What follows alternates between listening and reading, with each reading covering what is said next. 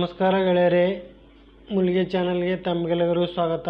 ಇವತ್ತು ನಾವು G code ಬಗ್ಗೆ ತಿಳ್ಕೊಳ್ಳೋಣ. ಸಿ ಎನ್ ಸಿ ಪ್ರೋಗ್ರಾಮ್ ಮಾಡಬೇಕಾದ್ರೆ ನಮಗೆ ಜಿ ಕೋಡ್ ಬಗ್ಗೆ ಗೊತ್ತಿರಬೇಕು. ಅದರ ಸಲುವಾಗಿ ನಾನು ಇವತ್ತು ಐದು ಕೋಡ್ಗಳ ಬಗ್ಗೆ ಇದರಲ್ಲಿ ಎಕ್ಸ್ಪ್ಲೇನ್ ಮಾಡಿದ್ದೇನೆ ತಮಗೋಸ್ಕರ. ಇವತ್ತು ನಾವು ಐದು ಕೋಡಲ್ಲಿ ಐದು ಕೋಡು ಯಾವ ಥರ ಯೂಸ್ ಮಾಡ್ತಾರೆ ನಮ್ಮದು ಸಿ ಎನ್ ಸಿ ಟರ್ನಿಂಗ್ ಮಷಿನಲ್ಲಿ ಈ ಈ ಕ್ಲಾಸಲ್ಲಿ ನಾನು ಡೀಟೇಲಾಗಿ ಎಕ್ಸ್ಪ್ಲನೇಷನ್ ಮಾಡಿದ್ದೇನೆ. ಫಸ್ಟ್ ನಾವು G code use C N C machine G code G code ಅಂದರೆ ಏನಪ್ಪ? ಇದು ಸಾಫ್ಟ್ವೇರಿಂಗ್ ಕೋಡ್ ಇದು ಒಂದು ಅಪ್ಲಿಕೇಶನನ್ನು ಅದರಲ್ಲಿ ಸೆಟ್ ಮಾಡಿದ್ದಾರೆ. ಆ ಕೋಡ್ ಪ್ರಕಾರ ನಾವು ಅದನ್ನು ಪ್ರೋಗ್ರಾಮ್ ಆಗಿ ಪ್ರೋಗ್ರಾಮ್ ಯಾವ ಥರ ಮಾಡಬೇಕು, ಅದಕ್ಕೆ ಸಪೋರ್ಟಿಂಗ್ ಏನಾಗತ್ತೆ, ಅದನ್ನು ಯಾವ ಥರ ಅಪ್ಲಿಕೇಶನ್ ಪ್ರಕಾರ ನಾವು ಯೂಸ್ ಮಾಡಿದ್ರೆ ಮಾತ್ರ ಅದನ್ನು ಕೆಲಸ ಮಾಡುತ್ತದೆ ಮಷಿನ್ ಇಲ್ಲಾಂದರೆ ಅಪ್ಲಿಕೇಶನ್ ಹೊರಗಡೆ ಅದನ್ನು ನಾವು ಏನು ಏನು ಬೇಕಾದರೂ ಮಾಡಿದ್ರೆ ಅದು ಸಾಧ್ಯ, ಸಾಧ್ಯವಿಲ್ಲ.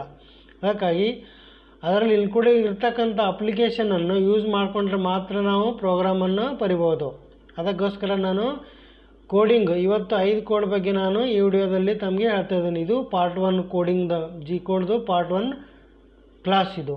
ಈ ಕ್ಲಾಸಲ್ಲಿ ನಾವು, ಜಿ ಕೋಡ್ ಅಂದರೆ ಏನಪ್ಪ ಅಂದರೆ ಇದ್ರದ್ದು ಹೆಸರು preparatory function first preparatory function G coding ಸಾಫ್ಟ್ವೇರಿಂಗ್ coding first ನಾವು ಜಿ ಜೀರೋವನ್ನು ಯೂಸ್ ಮಾಡ್ತೀವಿ. ಮಷೀನಲ್ಲಿ ನಮ್ಮ ಟೂಲನ್ನು ಮೂಮೆಂಟು ಅಂದರೆ ಅಲ್ಲಿಂದ ಇಲ್ಲಿಗೆ ತರಬೇಕು ಸ್ಪೀಡಲ್ಲಿ ಸ್ಲೋ ಆಗಿ ಬಂದರೆ ನಮಗೆ ಸೈಕಲ್ ಟೈಮನ್ನು ಜಾಸ್ತಿ ಆಗುತ್ತೆ.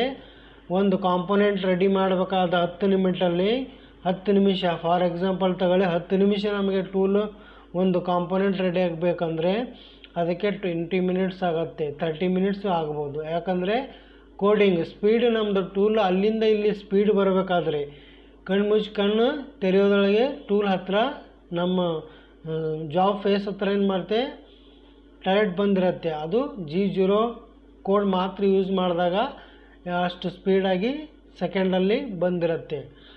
ಅದರ ಸಲುವಾಗಿ ನಾವು ಈ ಕೋಡನ್ನು ಯೂಸ್ ಮಾಡ್ತೀವಿ. ಜಿ ಜೀರೋ ಏನಕ್ಕಪ್ಪ ಅಂದರೆ ಎಂ ಟಿ ಟೂಲು ಅಂದರೆ ಏನೂ ವರ್ಕ್ ಇಲ್ಲ. ಬರೀ ನಮಗೆ ಟೂಲ್ ತರಬೇಕು, ಅಲ್ಲಿಂದ ಇಲ್ಲಿಗೆ. ಪ್ರೊಸೆಸ್ ಇಲ್ಲ ವರ್ಕ್ ಇಲ್ಲ. ಅದರಿಂದ ನಾವು ಟೂಲ್ ಹತ್ತಿರ ತೊಗೊಂಬರ್ಬೇಕು ಅಂದರೆ ಏನು ಮಾಡಬೇಕಪ್ಪ ಅಂದರೆ ಜಿ ಜೀರೋ ಕೋಡನ್ನು ಯೂಸ್ ಮಾಡಬೇಕು. G zero use uses of this code rapid movement of axis our tool turret will be speed come to the job near turret ಹೋಮಿಂಗಲ್ಲಿರುತ್ತೆ ನಾವು ಅಲ್ಲಿಂದ ಇಲ್ಲಿಗೆ, ಅಂದರೆ ನಮ್ಮದು ಹೋಲ್ಡ್ ಮಾಡ್ತಕ್ಕಂಥ ಕ್ಲ್ಯಾಂಪು ಲೊಕೇಟ್ ಮಾಡ್ತಕ್ಕಂಥ ಜಾಬ್ ಹತ್ತಿರ ಸ್ಪೀಡಾಗಿ ಬರಬೇಕಂದ್ರೆ ಜಿ ಜೀರೋ ಕೋಡನ್ನು ಹಾಕಿ ಅದಕ್ಕೆ ಇರ್ತಕ್ಕೆ ಎಕ್ಸ್ ವ್ಯಾಲ್ಯೂ ಒಂದು ನಮ್ಮದು ಎಕ್ಸಿಸ್ ಎಕ್ಸ್ ಮತ್ತು ಜೆಡ್ ಎಕ್ಸಿಸ್ ವ್ಯಾಲ್ಯೂವನ್ನು ಅದರಲ್ಲಿ ಹಾಕಿದರೆ ಮಾತ್ರ ಆ ಟೂಲನ್ನು ಕರೆಕ್ಟಾಗಿ ಆ ಪೊಸಿಷನಲ್ಲಿ ಬಂದು ನಿಲ್ಲಿ, ಅಲ್ಲಿ ಇದು ಫೋಲ್ಡ್ ಆಗುತ್ತೆ. ಅಂದರೆ ನಿಂತ್ಕೊಂಡು ಬಿಡುತ್ತೆ ಟೂಲು ನಮ್ಮದು ಟೆರೆಟು ಎಕ್ಸಿಸ್ ಯಾವುದು? ಎಕ್ಸ್ ವ್ಯಾಲ್ಯೂ ಹಾಕಬೇಕು ಅಲ್ಲಿ ಮತ್ತು ಜೆಡ್ ವ್ಯಾಲ್ಯೂ ಹಾಕಬೇಕು. ಅದ್ರ ಮುಂದೆ ಫಸ್ಟ್ ನಾವು ಈ ಕೋಡನ್ನು ಯೂಸ್ ಮಾಡಬೇಕು.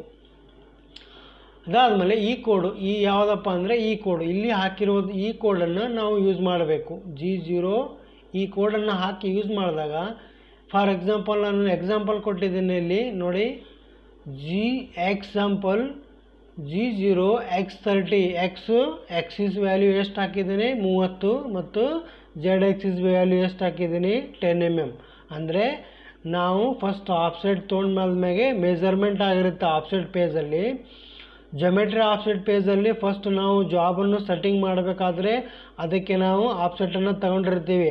ಅಲ್ಲಿಂದ ಇಲ್ಲಿಗೆ ಫಸ್ಟ್ ನಾವು ಪ್ರೋಗ್ರಾಮ್ ಮಾಡೋಕ್ಕೆ ಬೆ ಪ್ರೋಗ್ರಾಮ್ ಮಾಡಿದ ನಂತರ ಸೆಟ್ಟಿಂಗ್ ಹಚ್ಚಬೇಕಾದ್ರೆ ಪ್ರತಿಯೊಂದು ಟೂಲ್ದು ಆಫ್ಸೆಟನ್ನು ತಗೋಬೇಕಾಗತ್ತೆ. ಎಕ್ಸ್ ಮತ್ತು ಜೆಡ್ದು ಎಕ್ಸ್ದು ನಮ್ಮದು ಕಂಟಿನ್ಯೂ ಟೂಲನ್ನು ಯೂಸ್ ಮಾಡ್ಕೊತಾ ಇದ್ದರೆ ಎಕ್ಸ್ದೇನು ತೆಗೆದುಕೊ, ತೆಗೆದುಕೊಳ್ಳೋ ಅವಶ್ಯಕತೆ ಇಲ್ಲ. ಆದರೆ ಜೆಡ್ ಇದು ಮಾತ್ರ ತಗೋಬೇಕು. ಅದಕ್ಕಾಗಿ ಆ ತಗೊಂಡು ಆದಮೇಲೆ ನಾವು ವ್ಯಾಲ್ಯೂನ ಹಾಕಿದ್ರೆ ಕನ್ಸಿಡರ್ ಆಗುತ್ತೆ. ಅಲ್ಲಿಂದ ಇಲ್ಲಿಗೆ ಜೆಡ್ ಹತ್ತು ಎಂ ಎಂ ಗ್ಯಾಪಿಂದ ಬಂದು ನಿಂತ್ಕೊಂಡ್ಬಿಡತ್ತೆ.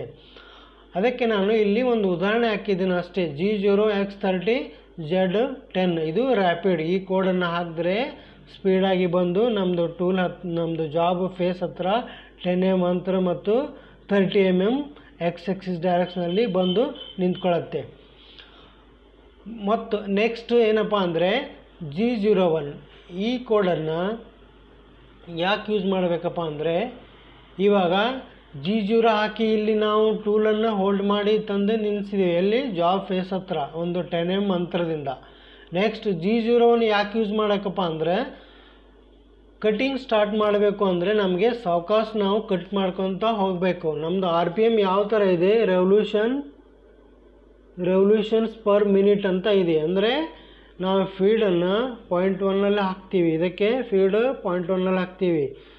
ಇವಾಗ ಟೋಟಲ್ ಫೀಡ್ ಮತ್ತು ರೆವಲ್ಯೂಷನ್ ಮೀಟರ್ ಪರ್ ಮಿನಿಟ್ ಮತ್ತು ರೆವಲ್ಯೂಷನ್ ಪರ್ ಮಿನಿಟ್ ಅದೇ ಥರ ಅಲ್ಲಿ ವಿ ಎಂ ಸಿಯಲ್ಲಿ ರೆವಲ್ಯೂಷನ್ ಪರ್ ಮಿನಿಟ್ ಇರುತ್ತೆ. ಇಲ್ಲಿ ಸಾರಿ ಸಿ ಎನ್ ಸಿಯಲ್ಲಿ ವಿ ಎಂ ಸಿಯಲ್ಲಿ ಮೀಟರ್ ಪರ್ ಮಿನಿಟ್ ಇರುತ್ತೆ. ಅಂದರೆ ನೈಂಟಿ ಫೋರ್ ಮತ್ತು ನೈಂಟಿ ಫೋರ್ ಕೋಡಲ್ಲಿ ಯೂಸ್ ಮಾಡ್ತಕ್ಕಂಥದ್ದು. ನೈಂಟಿ ಫೈವ್ ಹಾಕಿದ್ರೆ ಮಾತ್ರ ನಮ್ಮದು ಇದರಲ್ಲಿ ಯೂಸ್ ಮಾಡ್ಬೋದು. ಅದಕ್ಕಾಗಿ ನಾವು ಏನು ಹಾಕ್ತೀವಿ point one five ರೆವಲ್ಯೂಷನ್ನು per revolution feed ಇದು. ಯಪ್ಪ ಅಂದರೆ ಒಂದು ರೆವಲ್ಯೂಷನ್ಗೆ ಪಾಯಿಂಟ್ ಒನ್ ಫೈವ್ ಮೂಮೆಂಟ್ ಆಗುತ್ತೆ. ಅದಕ್ಕೆ ಇಲ್ಲಿ ಏನಪ್ಪ ಅಂದರೆ ನಾವು ಜಿ ಜೀರೋನ ಹಾಕಿದ್ರೆ ಏನಾಗುತ್ತೆ? ಜಿ ಜೀರೋನ್ ಅಂದರೆ ಏನಪ್ಪ? Linear slow movement of tool direction tool direct turret direction cutting tool with supported supported feed cut the material ಅಂದರೆ ಇಲ್ಲಿ ಅಪ್ಲೈಡ್ ಫೋರ್ ಈಗ ಒಂದು ವರ್ಕ್ ಅಂದರೆ ಏನಾಗಪ್ಪ ಅಂತ, ಅದಕ್ಕೆ ನಾವು ವರ್ಕ್ ಅಂದರೆ ಮಾ, ಒತ್ತ ವರ್ಕ್ ಅಂದರೆ ಏನಪ್ಪ ಅಂದರೆ for example what is the work work ಅಂದರೆ ಏನಪ್ಪ ಅಂದರೆ, ಒಂದು ಅಪ್ಲೈಡ್ ಫೋರ್ಸು ಅಪ್ಲೈಡ್ ಫೋರ್ಸು ಆದಮೇಲೆ ಅದಕ್ಕೆ ಏನಾಗುತ್ತೆ? ಡಿಸ್ಟೆನ್ಸ್ ಮೂವ್ ಆಗುತ್ತೆ. ಅದಕ್ಕೆ ನಾವು ಒಂದು ಕೆಲಸ ಅಂತ ಕರಿತೀವಿ.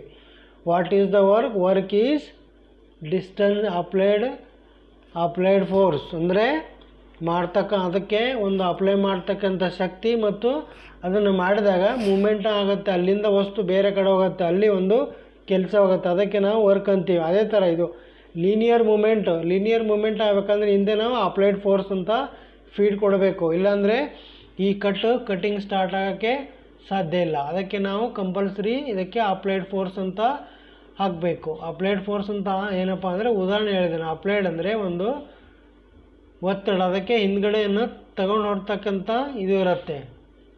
ಈ ಥರ ಸ್ಪೀಡಾಗಿ ಹೋಗ್ತಾ ಇರತ್ತೆ. ಲೀನಿಯರ್ ಅಂದರೆ ಈ ಈ ಈ ಲೆವೆಲಲ್ಲಿ ನಾವು ಫೀಡ್ ಹಾಕಿದ್ರೆ, ಇವಾಗ ಇಲ್ಲಿ ಕೊಟ್ಟಿರ್ತಕ್ಕಂಥ ಉದಾಹರಣೆ ಏನಪ್ಪ ಅಂದರೆ feed feed one point five feed ಏನಿದೆ? ಇಲ್ಲಿ ಒನ್ ಪಾಯಿಂಟ್ ಫೈವ್ ಇದೆ. ಇಲ್ಲೇನು ನೋಡು? G zero one Z minus ಇವಾಗ ಎಕ್ಸ್ ಯಾವುದೋ ಒಂದು ಉದಾಹರಣೆ ವ್ಯಾಲ್ಯೂ ಇಲ್ಲ ತರ್ಟಿ ಇರ್ಬೋದು ಟ್ವೆಂಟಿ ಇರ್ಬೋದು. ತರ್ಟಿಯಿಂದ ಕಟ್ ಮಾಡಬೇಕು. ತರ್ಟಿ ಎಂ ಎಂ ನಮ್ಮ ಸ್ಟಾರ್ಟ್ ಕಟ್ ಇದೆ ಅಂದರೆ ಇಲ್ಲಿ ಜಡ್ ಮೈನಸ್ ಎಷ್ಟಿದೆ ಅಪ್ಪ ಜಡ್ ಆರ್ ಎಕ್ಸಿಸಲ್ಲಿ ಇಪ್ಪತ್ತೈದು ಎಂ ಎಂ ಮೈನಸ್ ತಗೊಂಡು ಹೋಗ್ಬೇಕು. ಅಂದರೆ ಇಲ್ಲಿ feed one point one five ಹಾಕಿದ್ದೀನಿ. ಇದು ಇದು ಏನಪ್ಪ ಅಂದರೆ start linear movement slow applied in field ಫೀಲ್ಡನ್ನು ಹಾಕಿದ್ರೆ ಮಾತ್ರ ಇದನ್ನು ಮೂವ್ ಆಗುತ್ತೆ. ಇಲ್ಲಾಂದರೆ ಈ ಅಲ್ಲಿ ಮಸ್ಸಿನಲ್ಲಿ ಏನಾಗುತ್ತೆ? ಅಲಾರ್ಮ್ ಅಲಾರಾಮ್ ಬರ್ತಕ್ಕಂಥ ಚಾನ್ಸ್ ಇರುತ್ತೆ ಮೆಸೇಜು ಅದಕ್ಕೆ ಇದು ಫುಲ್ಲು ಈ ಲೈನ್ಸ್ ಹಾಕಿದ್ರೆ ಮಾತ್ರ ಈ ಕೋಡನ್ನು ಯೂಸ್ ಆಗುತ್ತೆ ಮತ್ತು ವರ್ಕ್ ಆಗುತ್ತೆ. Next G zero three G sorry G zero two next G zero zero ಆಯಿತು ಜಿ ಜೀರೋ ಒನ್ ಆಯಿತು G zero two G zero two ಅಂದರೆ ಏನಪ್ಪ? ಜಿ ಜೀರೋ ಟು ಯಾಕೆ ಯೂಸ್ ಮಾಡಬೇಕು ನಾವು? C N C turning ಮಷಿನಲ್ಲಿ G zero two tool circular momentum of now, make an radius for job use this code ಏನಪ್ಪ ಅಂದರೆ ಟೂಲನ್ನು circular momentum ಸರ್ಕ್ಯುಲ್ ಅಂದರೆ ಟೂಲನ್ನು ಯಾವ ಥರ ನಾವು ಈಗ ಜಾಬಲ್ಲಿ ಜಾಬ್ ಮೇಲೆ ನಮಗೆ ರೇಡಿಯಸ್ ಮಾಡಬೇಕು. ಅಂದರೆ ರೇಡಿಯಸ್ ಕೊಟ್ಟು ಕೊಟ್ಟಿರಕ್ಕಂಥ ಡ್ರಾಯಿಂಗ್ ಪ್ರಕಾರ ನಾವು ರೇಡಿಯಸ್ ಮಾಡಿಕೊಡ್ಬೇಕಾದ್ರೆ, ಯಾವ ಡೈರೆಕ್ಷನಲ್ಲಿ ಇದೆ ನೋಡಬೇಕಲ್ಲಿ ಜಾಬ್ ಹತ್ರ. ಅಲ್ಲಿ ಇವಾಗ ಜಾಬಲ್ಲಿ ಸ್ಟೆಪ್ ಇರುತ್ತೆ. ಒಂದು ಓಡಿಗ ಒಂದು ಓಡಿ ಫೇಸಲ್ಲಿ ನಮಗೆ ಟರ್ನಿಂಗ್ ಅಂದರೆ ಇಲ್ಲಿ ನಾನು ಒಂದು ಸ್ಕ್ವೇರನ್ನು ಹಾಕ್ತೀನಿ ಈ ಥರ ಒಂದು ಸ್ಟೆಪ್ ಜಾಬ್ ಇದೆ. ಒಂದು ಸ್ಟೆಪ್ ಜಾಬ್ ಉದಾಹರಣೆ ಆಗಿ. ಈ ಥರ ಒಂದು, ಈ ಥರ ಒಂದು, ಈ ಥರ ಒಂದು ಸ್ಟೆಪ್ ಟರ್ನಿಂಗ್ ಜಾಬ್ ಇದೆ. ಈ ಟರ್ನಿಂಗ್ ಜಾಬಲ್ಲಿ ಇಲ್ಲಿ ನಮಗೆ ರೇಡಿಯಸ್ ಮಾಡಬೇಕು. ಇಲ್ಲಿ ನಮಗೆ ಈ ಥರ ಆರ್ ಮಾಡಬೇಕು. ಯಾವುದಾದ್ರೆ ಈ ಈ ಈ ಫೇಸಲ್ಲಿ ಇದು ಒಂದು ಸ್ಟೆಪ್ ತಿಳ್ಕೊಳ್ಳಿ, ಇದೊಂದು ಸ್ಟೆಪ್ಪು ಈ ಥರ ಜಾಬ್ ಇದೆ ನಮ್ಮದು ಈ ಥರ ಒಂದು ಜಾಬ್ ಇದೆ. ಇಲ್ಲಿ ನಮಗೆ ಏನು ಮಾಡಬೇಕು? ಆರು ಅಂದರೆ ಇಲ್ಲಿ ರೇಡಿಯಸ್ ಒಂದು ಫೈವ್ ಎಂ ರೇಡಿಯಸ್ ಮಾಡಬೇಕು. ಇಲ್ಲಂದರೆ ಈ ಈ ಸ್ಟೇ ಈ ಸ್ಟೆಪ್ಪಲ್ಲಿ ಇಲ್ಲಿ ಮಾಡಬೇಕಾದ್ರೆ ನಾವು ಏನು ಮಾಡಬೇಕು? ಇದನ್ನು ಜಿ ಜೀರೋ ಟು ಮಾತ್ರ ಯೂಸ್ ಮಾಡಿದಾಗ ಇದನ್ನು ಈ ಡೈರೆಕ್ಷನಲ್ಲಿ ನಮ್ಮ ಟೂಲ್ ಮೂಮೆಂಟ್ ಆಗುತ್ತೆ. ಇದು ಕ್ಲಾಕ್ ವೈಸ್ ಡೈರೆಕ್ಷನ್ ನಮ್ಮದು ಗಡಿಯಾರ ಕ್ಲಾಕ್ ವೈಸ್ ಡೈರೆಕ್ಷನಲ್ಲಿ ರೊಟೇಟ್ ಆಗಿರುತ್ತೆ ನಾವು ಅದರಲ್ಲಿರ್ತಕ್ಕಂಥ ಮುಳ್ಳು ಕ್ಲಾಕ್ ವೈಸ್ ಡೈರೆಕ್ಷನಲ್ಲಿ ರೊಟೇಟ್ ಆಗುತ್ತೆ. ಅದೇ ಥರ ಇಲ್ಲಿ ನಾವು ಬರ್ತಕ್ಕಂಥ ಟೂಲ್ ಈ ಥರ ಬಂದು ಈ ಡೈರೆಕ್ಷನಲ್ಲಿ ಮೇಲ್ಗಡೆ ಹೋಗುತ್ತೆ. ಅಂದರೆ ಇದು ಕ್ಲಾಕ್ ವೈಸ್ ಡೈರೆಕ್ಷನ್ ಮತ್ತು ಇಲ್ಲಿ ಮಾಡಬೇಕಾದ್ರೆ ಇಲ್ಲಿ ಜಿ ಜೀರೋ ತ್ರೀಯಲ್ಲಿ ಯೂಸ್ ಮಾಡಬೇಕು. ಈ ಔಟರ್ ಡಯಾಮೀಟ್ರಲ್ಲಿ ಈ ಫೇಸಲ್ಲಿ ಇದನ್ನು ನಾವು ಈ ಎಡ್ಜಲ್ಲಿ ರೇಡಿಯಸ್ ಮಾಡ್ಕೋಬೇಕಂದ್ರೆ ಈ ಡೈರೆಕ್ಷನಲ್ಲಿ ಯಾವುದು ಜಿ ಜೀರೋ ತ್ರೀ ಡೈರೆಕ್ಷನಲ್ಲಿ ಮಾತ್ರ ಯೂಸ್ ಆಗುತ್ತೆ. ಏನಪ್ಪ ಅಂದರೆ ರೇಡಿಯಸ್ ಸಲುವಾಗಿ. ಅಲ್ಲಿ ನಾವು ನೋಡ್ತಾ ಡ್ರಾಯಿಂಗಲ್ಲಿ ಎಲ್ಲಿ ಕೊಟ್ಟಿದ್ದಾರೆ, ಯಾವ ರೇ ಡೈರೆಕ್ಷನಲ್ಲಿದೆ ಆ ಡೈರೆಕ್ಷನ್ ನೋಡಿಕೊಂಡು ಅಲ್ಲಿ ಯಾವ್ದು ಯೂಸ್ ಆಗುತ್ತೆ ಅದನ್ನು ಮಾತ್ರ ಯೂಸ್ ಮಾಡಬೇಕು. ಇಲ್ಲಿ ನಾನು ಒಂದು ಉದಾಹರಣೆಯಿಂದ ಒಂದು ಲೈನ್ ಟೈಪ್ ಮಾಡಿದ್ದೀನಿ ನೋಡಿ. ರೇಡಿಯಸ್ ಫಾರ್ ಇಲ್ಲಿ ಒಂದು ಸ್ಮಾಲಾಗಿ ಒಂದು ಉದಾಹರಣೆ ಹೇಳಿದ್ದೀನಿ ಇಲ್ಲಿ. ಎಕ್ಸ್ ಏನಪ್ಪ?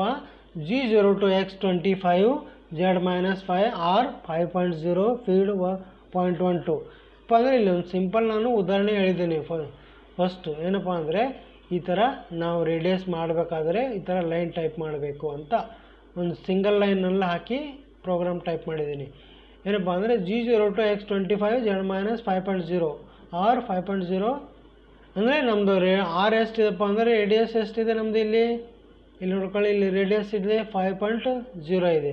ಇಲ್ಲಿ ನಮಗೆ five point zero Z minus ಅಂದರೆ ಈ ವ್ಯಾಲ್ಯೂಲಿ ಎಷ್ಟು ಜಡ್ ಮೈನಸ್ಸು ಅಂದರೆ ಎಕ್ಸಲ್ಲಿ ಡಬಲ್ ವ್ಯಾಲ್ಯೂನ ಮೈನಸ್ ಆಗುತ್ತೆ ಮತ್ತು ಜಡಲ್ಲಿ ಸಿಂಗಲ್ ಆಗುತ್ತೆ. ಇಷ್ಟೇ ಮತ್ತು ಡಿಸ್ಟೆನ್ಸ್ ಇರೋದು ಡಿಫ್ರೆನ್ಸ್ ಇರೋದು. ಈ ಉದಾಹರಣೆಯನ್ನು ನೋಡ್ಕೊಳ್ಳಿ. Next G zero three G zero three ಇದನ್ನು ಕೂಡ ಅದೇ ರೇಡಿಯಸ್ ನಮಗೆ ಕ್ರಿಯೇಟ್ ಮಾಡಬೇಕು. ಯಾವುದು? ಇದು ಡೈರೆಕ್ಷನ್ ಏನಾಗುತ್ತೆ?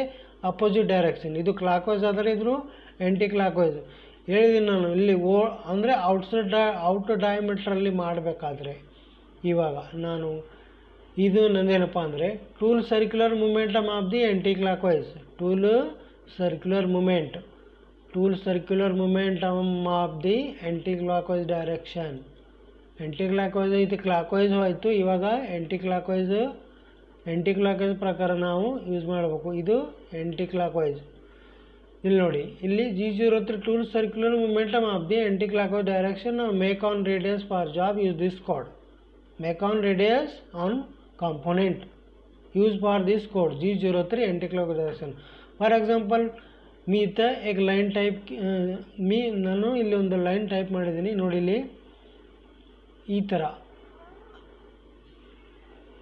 ಈ ಥರ ನಮಗೆ ಒಂದು ಜಾಬ್ ಇದೆ ತಿಳ್ಕೊಳ್ಳಿ ಈ ಈ ಜಾಬಲ್ಲಿ ನಮಗೆ ಇಲ್ಲಿ ನಮಗೆ ಈ ಓ ಇದು ಔಟರ್ ಡೈಮೀಟ್ರ್ ಇದು. ಇಲ್ಲಿ ಔಟರ್ ಡೈಮೀಟ್ರ್ ಇದು. ಈ ಔಟರ್ ಡೈಮೀಟ್ರಲ್ಲಿ ಈ ಡೈರೆ ಇಲ್ಲಿ ನಮಗೆ ಇಲ್ಲಿ ಒಂದು ಫಾರ್ ಎಕ್ಸಾಂಪಲ್ ಒಂದು four M M R R ಮಾಡಬೇಕು. ಇಲ್ಲಿ ಫೋರ್ ಎಂ ಎಂ ಇಲ್ಲಿ ರೇಡಿಯಸ್ ತಗೋಬೇಕು. ಈ ಇಲ್ಲಿ ಅಂದರೆ ನಾವು ಇಲ್ಲಿ ಫೇಸಲ್ಲಿ ಮಾಡಿ ಈ ಥರ ಈ ಡೈರೆಕ್ಷನ್ ಡೈರೆಕ್ಷನ್ ಆಗುತ್ತೆ ಇದು ಎಂಟಿ ಕ್ಲಾಕ್ ವೈಸ್ ಆಗುತ್ತೆ. ಇಲ್ಲಿ ಔಟರ್ ಡಯಾಮೀಟ್ರ್ ಇಲ್ಲಿಂದ ಫೇಸಿಂದ ಮೇಲ್ಗಡೆ ಟೂಲ್ ತಗೊಂಡು ನಾವು ಎಂಟಿ ಕ್ಲಾಕ್ ವೈಸಲ್ಲಿ ಇಲ್ಲಿ ಆರ್ ಕ್ರಿಯೇಟ್ ಮಾಡಬೇಕಾದ್ರೆ ಏನಪ್ಪ ಅಂದರೆ ಇಲ್ಲಿ ಜಿ ಜೀರೋ ತ್ರೀ ಯು ಕೋಡನ್ನು ಯೂಸ್ ಮಾಡಬೇಕು. ಎಂಟಿ ಕ್ಲಾಕ್ ವೈಸಲ್ಲಿ ಇದನ್ನು ಕ್ರಿಯೇಟ್ ಆಗುತ್ತೆ ಈ ಕೋಡಲ್ಲಿ ತಿಳಿತಾ? ಆದಮೇಲೆ ನೆಕ್ಸ್ಟು ನೆಕ್ಸ್ಟ್ ಏನಪ್ಪ ಅಂದರೆ ಇಲ್ಲಿ ನಾನು ಡಿಟೇಲಾಗಿ ಹೇಳಿದ್ದೀನಿ ಇಲ್ಲಿ ಒಂದು ಸಿಂಪಲ್ ಉದಾಹರಣೆ ಕೊಟ್ಟು ಕೊಟ್ಟಿರೋದು ನೋಡಿ. ಸಿಂಪಲ್ ಉದಾಹರಣೆ ಇಲ್ಲಿ ಏನಿದೆ ಇಲ್ಲಿ? X G example G zero three ಒಂದು ವ್ಯಾಲ್ಯೂ ಹಾಕಿದ್ದೀನಿ ಎಕ್ಸ್ ಫಿಫ್ಟೀನ್ ಅಂತ ತಿಳ್ಕೊಳ್ಳಿ. Z minus four R four point ಇಲ್ಲಿ feed zero point one one ಇದು ಒಂದು ಪ್ರೋಗ್ರಾಮ್ದು ಕಮಾಂಡು ಯಾವುದು? ಸಿಮ್ ಎಕ್ಸಾಂಪಲ್ಗೋಸ್ಕರ ಒಂದು ಇಲ್ಲಿ ಕಮಾಂಡ್ ಹಾಕಿ ವ್ಯಾಲ್ಯೂವನ್ನು ಹಾಕಿ ರೇಡಿಯಸ್ ಎಷ್ಟು ಕೊಡಬೇಕು ಅಂದರೆ ಒಂದು ಉದಾಹರಣೆ ಹೇಳಿದಿರೋದು. ಇಲ್ಲಿ ಆರು ನಮಗೆ ಫೋರ್ ರೇಡಿಯಸ್ ಇದೆ ಡ್ರಾಯಿಂಗಲ್ಲಿ ಆದರೆ, ಇಲ್ಲಿ ಫೋರ್ ಆರ್ ಹಾಕ್ಬಿಟ್ಟು ಫೀಡ್ ಹಾಕ್ಬಿಟ್ಟು ಹಿಂದೆ ಆವಾಗ ನಮಗೆ ಎಂಟಿ ಕ್ಲಾಕ್ ವೈಸಲ್ಲಿ ಟೂಲು ರೌಂಡ್ ಆಕಾರದಲ್ಲಿ ಮೂಮೆಂಟ್ ಆಗುತ್ತೆ. ಅಲ್ಲಿ ನಮಗೆ ಜಾಬ್ ಮೇಲೆ ರೇಡಿಯಸನ್ನು ಕ್ರಿಯೇಟ್ ಆಗುತ್ತೆ. ತಿಳಿತಾ?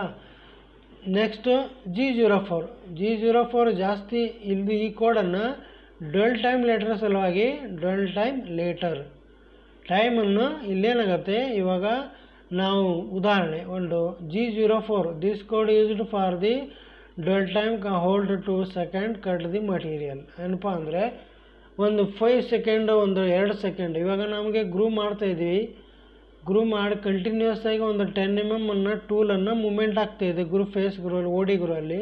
ತಿಳ್ಕೊಳ್ಳಿ.